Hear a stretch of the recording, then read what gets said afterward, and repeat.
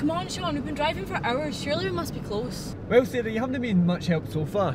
Uh, what are you trying to say?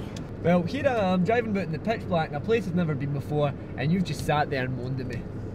Don't you bloody start! I don't ask that. I think it's you that's trying to start something here. This might be our nice little weekend away, and you've been moaning for the get go. Well, maybe if you looked at the fucking directions first, we'd be in this situation.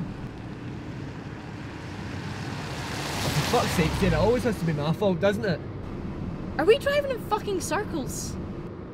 Sarah, I haven't even made any turns off this road. It's just long and empty.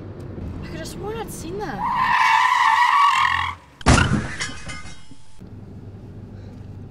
You okay, Sarah? What the fuck was that? I don't know what that was, but I'm going to find out. Please don't, Sean. Please don't leave me here by myself. I'll be right back.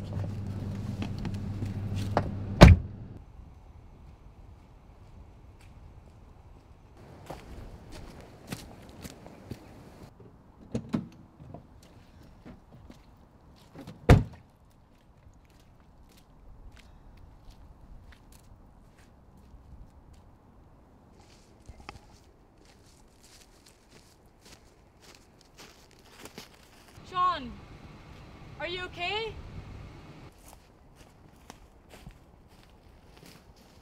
Sean, you're scaring me.